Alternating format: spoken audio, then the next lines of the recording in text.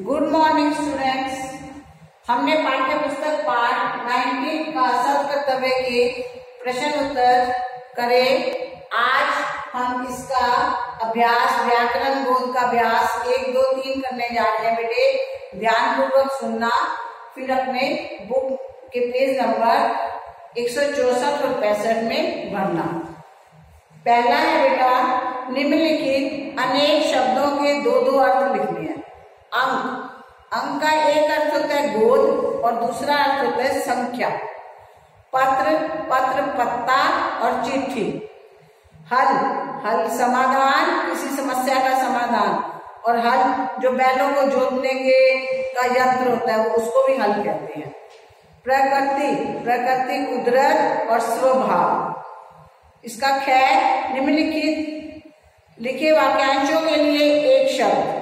जिसके बराबर कोई दूसरा ना हो, अद्वितीय। जो कर्म ना करता हो, कर्महीन।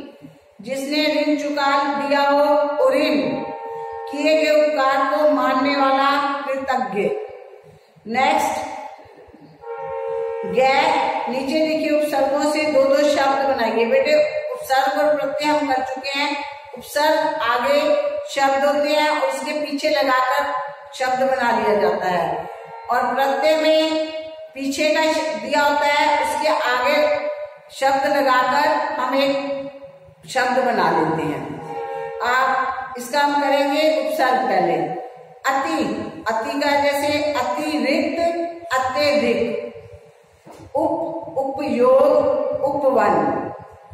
स, सकुशल, सशरीर। सब स्वभाव सब चालित गैर, अब ये प्रत्यय हैं, नीचे लिखे गए प्रत्ययों से दो दो शब्द बनाने हैं। आई, लड़ाई, पढ़ाई, इला, गर्मीला, शर्मीला, वाला पान वाला दूध वाला मिठाई वाला कुछ भी। पन बचपन, अपनापन। अब दूसरी एक्सरसाइज है, नीचे लिखे विस्माली बोधक अवयव शब्दों का प्रयोग करते हुए वाक्य बनाने हैं। इसका पहला है, क्या खूब तुमने बहुत अच्छा प्रदर्शन किया। हाय, मैं तो लुट गया। होशियार। आगे गहरी खाई है। जीते रहो। भगवान तुम्हें सदा सुखी रखे। बहुत अच्छा। तुम प्रथम श्रेणी में उत्तीर्ण हुई हो। नाउ नेक्स्ट थर्ड नीचे दिए गए समानता सूचक शब्दों का प्रयोग करते हुए वाक्य बनाइए। तुम सा बुद्धिमान।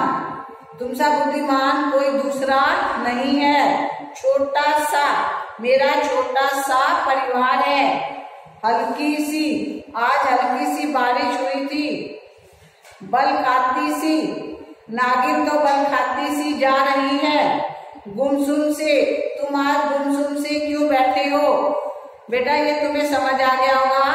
अब इसको अपनी पाठ्य पुस्तक एक सौ चौसठ और पैंसठ पेज पर भरना और इसको याद करना। Thank you have a nice day